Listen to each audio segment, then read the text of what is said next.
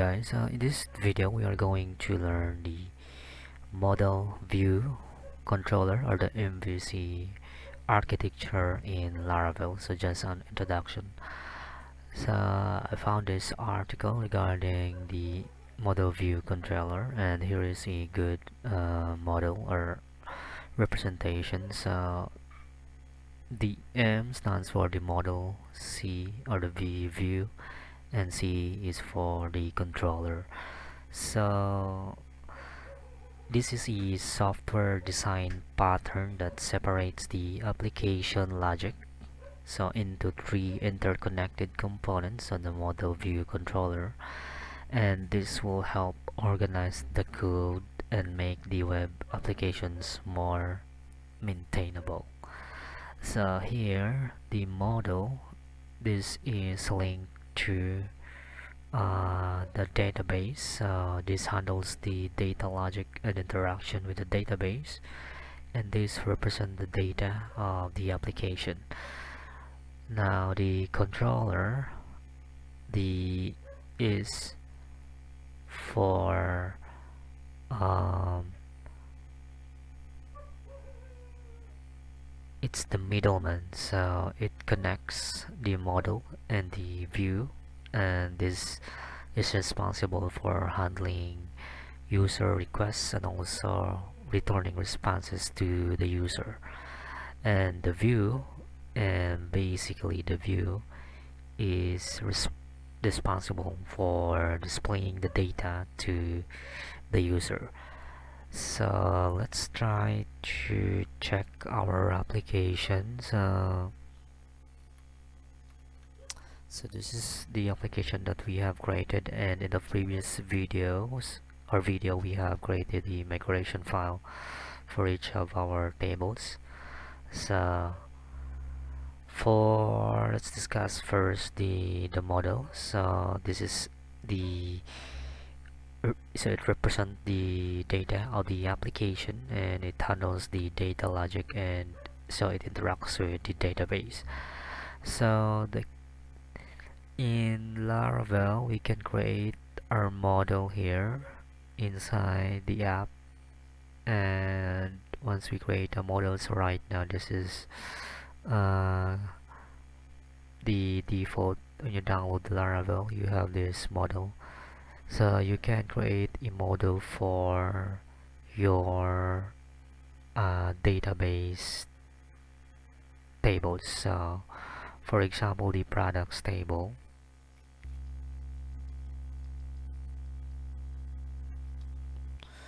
So here we can run the command.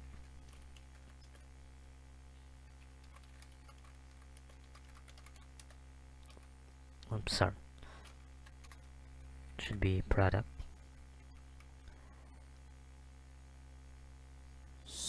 so if we check our model so let's delete that one. As you can see we have the product.php um, uh, model. So how does it interacts with our database?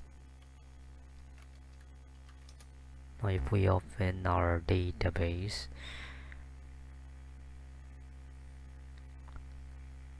so here in the inventory um, take this one. We have the products table. So this or the Laravel automatically um, connect this file or this model to this uh, table in our database. So as long as you are following the correct naming convention. So in Laravel the the if you have the products table you should use the singular names of the product the PHP so this will automatically detect that this file here represents the uh, this table in our database. So in Laravel they have what they call eloquent. So this allows you to easily interact with your database so using a simple syntax. Uh, here is an example um, so here uh, let's go to our routes on the web. So I will um, discuss this one later later so here if we are going to get all the users or data of this table so let's just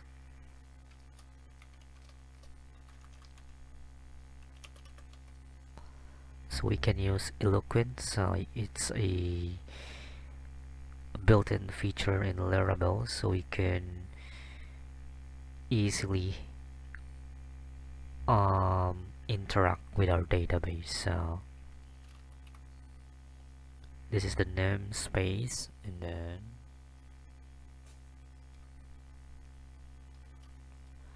product and then here. You can use this and this will fetch all the data from the from that table. So if we save and refresh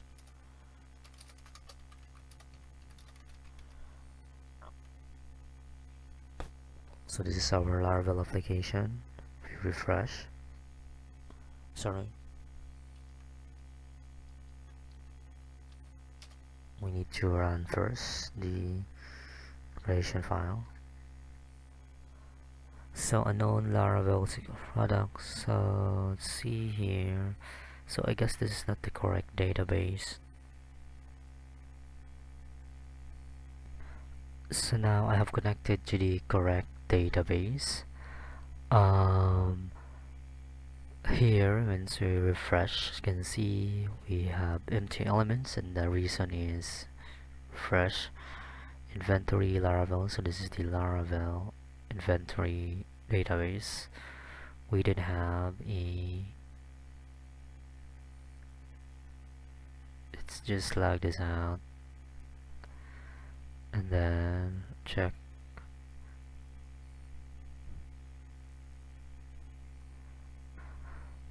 so here we have the products table and it's empty. So if I'm going to just um, insert so let's just insert the user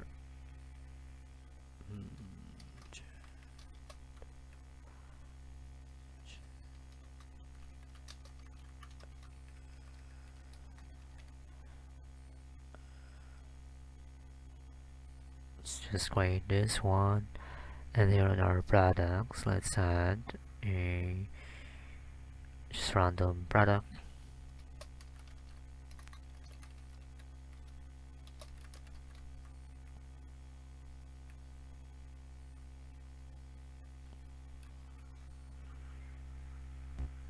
So let's create go.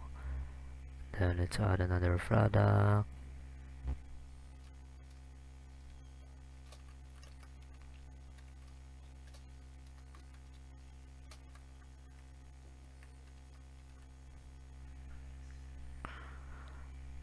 so now if we are going to refresh as you can see here it will return us the data from our database. So that is how the model works.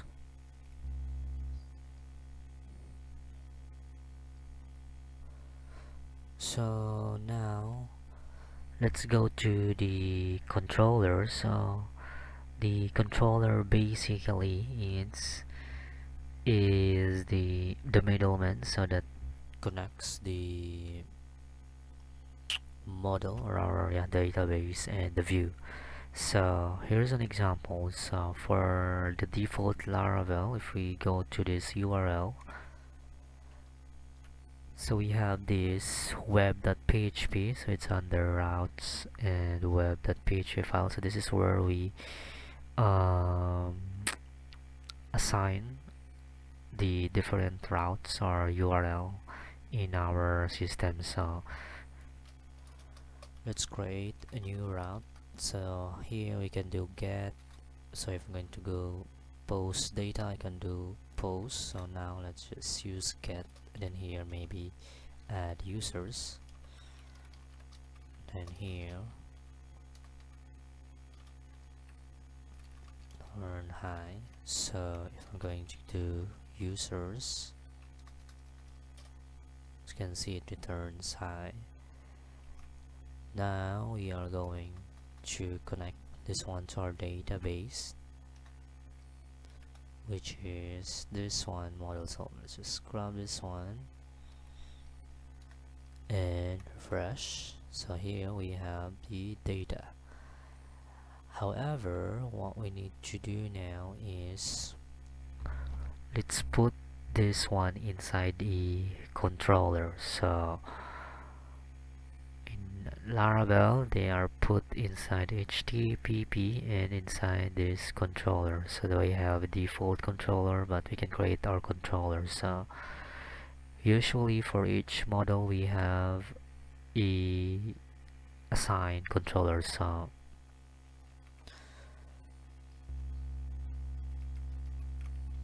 the command uh, a controller product and as you can see here we have the product controller. So here we can create the function get users. Then here can have this statement. So we can copy this one. And then let's do the dot first. And then here in our web.php we're going to update this one. So instead of a function we are going to use this or call the product controller. And then the second is the name of the function. So we're going to use get users so paste that one. So if we refresh um, let's start the server or sorry um, let's refresh so it does not exist and you need to include the file the namespace. So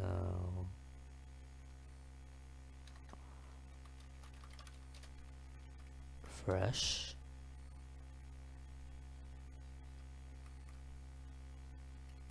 And same thing we'll need to add the namespace for the product and then we can just delete this one. So refresh to give us this the data. So we have discussed the controller we have discussed the model so this one and now we're going to discuss the view. So for the view can just grab or here on the where's that one. Sources then the views folder. So you can just copy this one.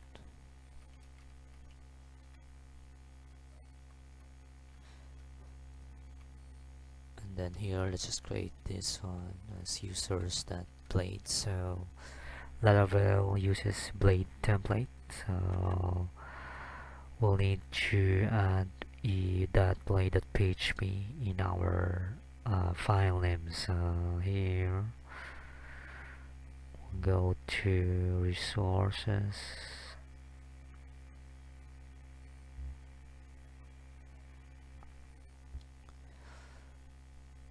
and then to return the view or as stated here so from the controller we're going to render the data in the view. So to call the view we are going to use this one and the name of the view which is users. If I'm going to refresh so since we just copied that file let's just remove uh, this one. Fresh. Once again. Then here we can create or pass the products. Now since we pass the product we can now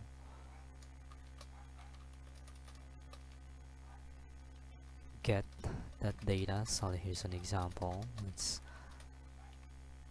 get the products and showing the users .blade.php as you can see we have successfully pulled all the users or products. So actually should be products. And also as you can see if we hit route that does not exist in our web.php it will return the 404 not found. So now let's update the product and here it is showing us the page so let's just update this one and here is a good um, use of the blade template so we can just use for each so we don't need to use or add php tag. Then here we can echo or use this one. Product that name. So let's remove this. Let's just wrap them inside each one fresh as you can see let's break. Mm, I think let's just remove this tile.